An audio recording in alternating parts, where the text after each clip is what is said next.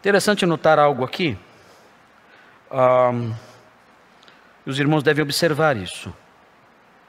É, a, é o detalhe. Eu só vou fazer uma notinha sobre isso rapidinho. Um detalhe aqui. O detalhe é a embriaguez. Até agora em Gênesis, nós já estamos no capítulo 19. Até agora em Gênesis, a embriaguez, ela aparece duas vezes. A primeira vez com Noé, no capítulo 9, e agora a segunda vez com Ló, no capítulo 19. Nas duas vezes, a embriaguez está conectada com a desgraça familiar. Isso não é por acaso. Isso não é por acaso. Existe uma mensagem aqui. A embriaguez está conectada, está ligada à desgraça na família. É assim. Qual é a receita para desgraçar uma família? Qual é a receita para devastar desde a raiz uma família? Qual é? É simples a resposta. É fácil. É a embriaguez. Para você devastar uma família, você não precisa de adultérios, e aventuras românticas, e brigas, e assassinatos, e, e coisas do tipo, coisas horríveis assim. Não. Para você devastar uma família, basta uma garrafa. Só isso. Isso, isso basta. Basta ir no bar e se embriagar.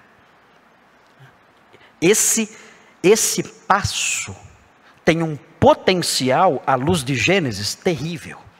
E é o potencial de desgraçar a sua casa. Então não brinquem com isso. A Bíblia não proíbe beber álcool. Essa é a grande verdade.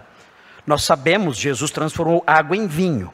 Os puristas dizem que ele transformou água em suco de uva del vale. Hã? É. Adoçado artificialmente, talvez até, é para não fazer mal. Mas isso é uma imensa bobagem, isso é uma tolice. Isso não existe. Jesus transformou água em vinho. Diz, dizem no Novo Testamento, quando fala sobre vinho, não é vinho, é outra coisa. É só você ler o que acontecia em Corinto.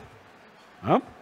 Em Corinto eles tomavam o vinho que não era vinho. E qual era o resultado? Embriaguez. Então não existe isso no Novo Testamento. O Novo Testamento e a Bíblia como um todo não reprovam o uso da bebida.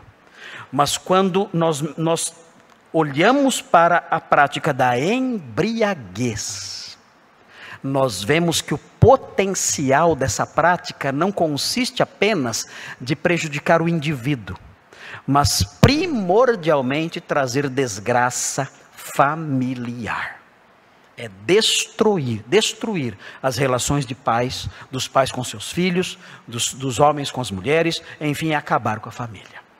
O conselho que eu dou, fechando parênteses, é que os irmãos não bebam nada. Não bebam nada. Não, não é uma ordem isso, não é, uma, não é um novo mandamento vos dou, né? não é isso.